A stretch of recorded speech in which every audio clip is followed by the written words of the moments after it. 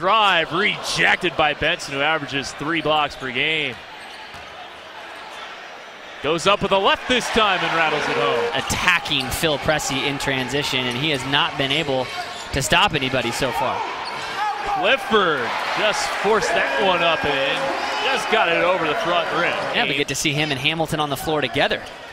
Clifford working left block, going baseline, and got great position on Benson. Used the basket to shield the shot block. Henton on the attack. LaDontae, the screen from Clifford, pocket pass. Dennis muscles it in. First lead for Santa Cruz since the first quarter. And Clifford back on the block.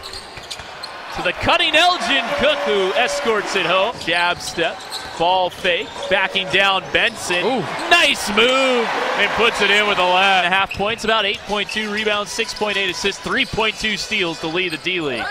Good look inside. Clifford hammers it home off the feed from Hamilton. Jab step, handoff. Ooh, Elgin. Cook was open, but Clifford had already given it to Pressey, but it doesn't matter because Clifford gets it back to the left. Montero, Nawamu, Benson, Miller, and Posley for the fourth. Back door. It's Henton. He has 21. I have no idea how that pass was able to get here in the through. Three. Karma. Wow.